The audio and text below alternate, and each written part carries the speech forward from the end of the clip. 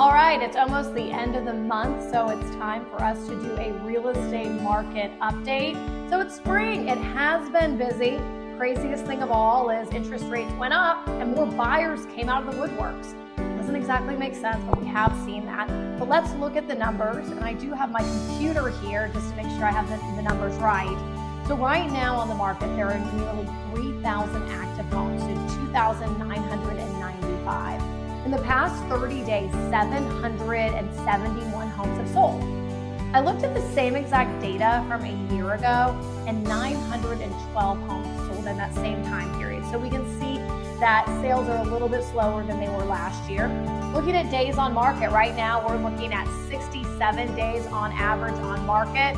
If we look at a year ago, it was 51. So days on market have gone up with those interest rates. Uh, looking at as far as how many homes are under contract or pending, around 1,500. So those will likely move in the next month or so. We've seen things be busy, but the homes that are moving really are the ones that are priced right. Uh, they, they look great, uh, they're clean, they're decluttered.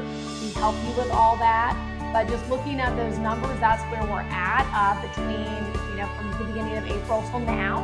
And I just want to share those with you guys so you know what is happening in the Pensacola area market.